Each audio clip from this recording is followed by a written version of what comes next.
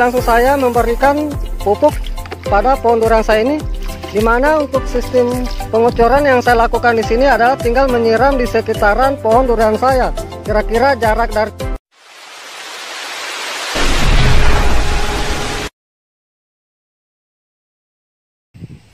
Jumpa lagi di channel YouTube kami.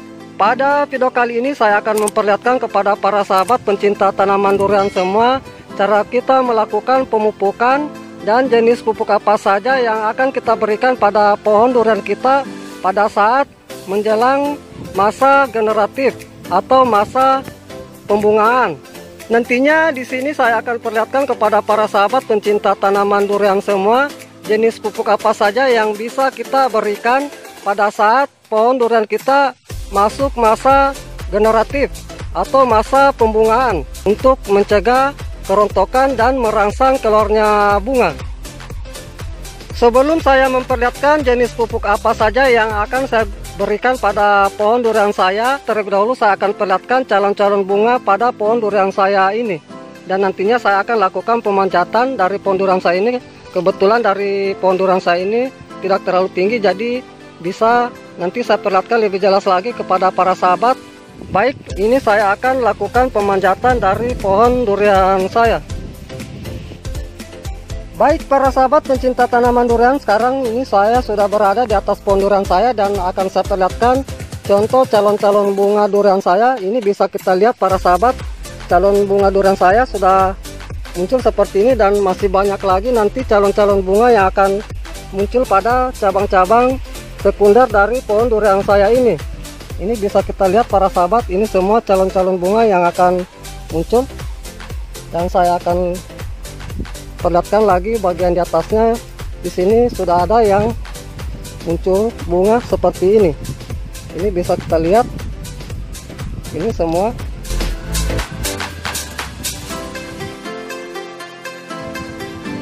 Jadi ini sudah waktunya akan saya lakukan pemberian pupuk untuk merangsang keluarnya bunga dan nantinya calon bunga yang sudah muncul ini nantinya tidak mengalami kerontokan. Ini sudah banyak calon-calon bunganya. Sampai di sana ini bisa kita lihat para sahabat. Baik para sahabat sekarang saya akan perlihatkan jenis pupuk apa saja yang akan saya berikan untuk merangsang keluarnya bunga dan mencegah kerontokan bunga dari pohon durian saya. Adapun jenis pupuk nantinya akan saya berikan pada pohon durian saya yaitu saya menggunakan pupuk KNO3 putih atau penpril dan pupuk MKP. Adapun masing-masing kandungan unsur yang ada pada pupuk yang akan saya berikan ini dan keunggulan dari pupuk ini yaitu yang pertama di sini saya akan perlihatkan dari jenis pupuk KNO3 putih atau penpril itu di mana untuk unsur hara nitrogen dari nitrat sekitar 13% kalium atau K2O nya itu sekitar 45% dan sedangkan keunggulan dari pupuk KNO3 putih ini di sini saya langsung memperlihatkan dari nomor 3 yaitu mengandung unsur kalium yang tinggi sehingga mampu mencegah kerontokan bunga dan buah. Ini bisa kita lihat para sahabat bagian nomor 3 dari keunggulan pupuk KNO3 putih ini. Jadi karena di sini kandungan kaliumnya itu sangat tinggi, jadi memang pupuk ini sangat baik kita berikan pada pohon durian kita untuk mencegah kerontokan bunga dan buah pada pohon durian kita nantinya. Kemudian yang berikutnya saya akan perlihatkan unsur hara dan keunggulan dari pupuk MKP. Ini bisa kita lihat para sahabat untuk unsur hara dari pupuk MKP ini P2O5-nya itu atau fosfatnya itu sekitar 52% K2O atau potasium oksidnya itu sekitar 34%. Sedangkan keunggulan dari pupuk MKP ini bisa juga kita lihat para sahabat pada nomor 3 di sini yaitu merangsang pertumbuhan akar dan pembungaan serta mencegah kerontokan bunga dan buah. Jadi saya gunakan pupuk MKP ini untuk mencegah nantinya kerontokan dan merangsang munculnya bunga dari pohon durian saya. Baik para sahabat pecinta tanaman durian, itulah tadi beberapa keunggulan dan unsur hara yang sudah saya perlihatkan dari kedua jenis pupuk ini yang akan saya gunakan nantinya. Kemudian langkah berikutnya saya akan perlihatkan cara kita melakukan pemupukan pada pohon durian kita. Namun sebelum saya memperlihatkan caranya, terlebih dahulu saya perlihatkan bahan yang perlu kita persiapkan. Yang pertama di sini saya siapkan sendok makan, di mana nantinya dari sendok makan ini saya gunakan untuk sebagai takaran dari pupuk yang akan saya berikan pada pohon durian saya. Kemudian yang berikutnya di sini saya siapkan air itu sekitar 10 liter di mana sistem pemupukan yang akan saya berikan pada pohon durian saya nantinya di sini yaitu dengan sistem kocor atau penyiraman pada sekitaran pohon durian saya. Namun para sahabat juga bisa memberikan pemberian pupuk pada pohon dengan sistem tabur. Namun untuk pemberian pupuk pada sistem tabur sebaiknya pada saat kondisi tanah lagi basah atau lembab jangan kita lakukan pemberian pupuk secara tabur itu di sekitaran pondoran kita apabila kondisi dari tanah dari sekitaran pondoran kita mengalami kekeringan. Bisa juga kita lakukan pemupukan secara tabur pada saat tanah kering namun setelah kita lakukan pemupukan dari pupuk itu kita siram di sekitaran pondoran kita agar nanti dari pupuk itu bisa cepat meresap sehingga nanti mudah diserap oleh akar tanaman pohon durian kita. Baik para sahabat pencinta tanaman durian semua, kemudian langkah berikutnya saya akan perlihatkan cara kita melakukan pemberian pupuk pada pohon durian kita. Yang pertama kita ambil pupuk yang kita sudah siapkan, di mana untuk dosis masing-masing dari kedua pupuk yang akan saya gunakan nantinya di sini yaitu saya menggunakan perbandingan satu banding satu. Dan dosis yang saya gunakan dari setiap jenis pupuk ini yaitu saya menggunakan sekitar 200 gram. Jadi nanti total pupuk yang saya gunakan untuk per pohon durian saya sekitar 200 gram.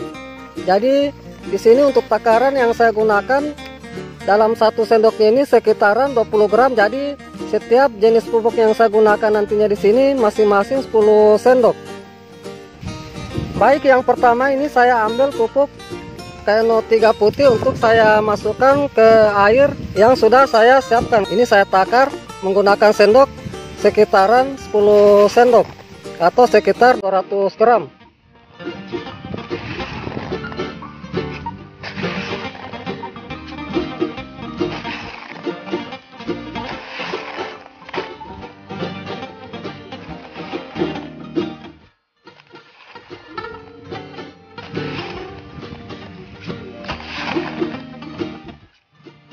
Cukup. Kemudian yang berikutnya saya ambil pupuk MKP saya juga takar menggunakan sendok itu sekitaran 10 sendok atau sekitaran 200 gram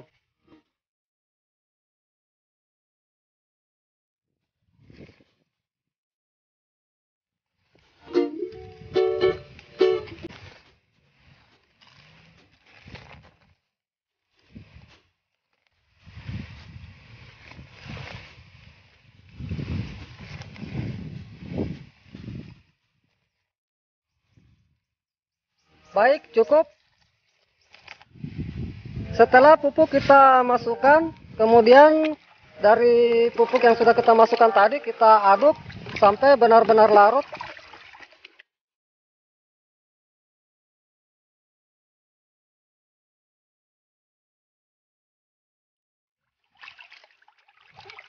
Baik, pupuknya sudah larut. Kemudian langkah berikutnya saya akan lakukan pengocoran di sekitaran pohon durian saya. Di sini sebelum kita melakukan pemberian pupuk pada pohon durian kita, sebaiknya di sekitaran pohon durian kita itu kita bersihkan seperti ini. Bisa kita lihat para sahabat, kita bersihkan dari rerumputan atau gulma yang ada di sekitaran pohon durian kita. Agar nanti dari pupuk yang kita berikan pada pohon durian kita sepenuhnya diserap oleh pohon durian kita. Jadi dari gulma-gulmanya di sini kita bersihkan seperti ini. Ini di sekeliling pohon durian kita atau di sekitaran tajuk pohon durian kita seperti ini. Baik langsung saya memberikan pupuk pada pohon durian saya ini di mana untuk sistem pengocoran yang saya lakukan di sini adalah tinggal menyiram di sekitaran pohon durian saya. Kira-kira jarak dari batang pokok yang saya lakukan pengocoran itu sekitar kurang lebih 1 sampai satu setengah meter. Ini saya siram saja seperti ini. Karena di sini kita berikan pupuk sistem kotor jadi nantinya dari pupuk ini langsung meresap pada tanah dan nantinya bisa diserap oleh akar tanaman durian kita. Ini kita siram keliling seperti ini para sahabat.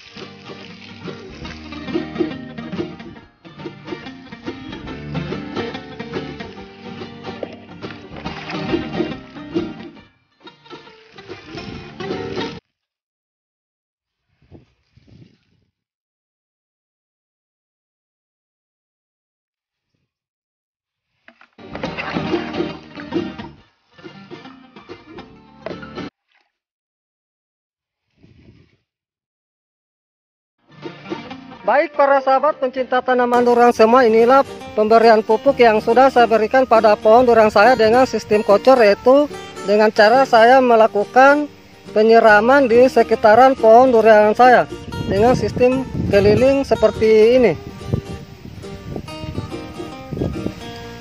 Baik para sahabat pencinta tanaman durian semua, demikianlah apa yang sudah saya perlihatkan cara kita melakukan pemberian pupuk pada pohon durian kita agar nanti bisa merangsang keluarnya bunga dan mencegah kerontokan bunga pada pohon durian kita. Semoga dengan apa yang sudah saya perlihatkan ini bisa bermanfaat. Terima kasih. Salam sukses selalu. Salam pencinta tanaman durian.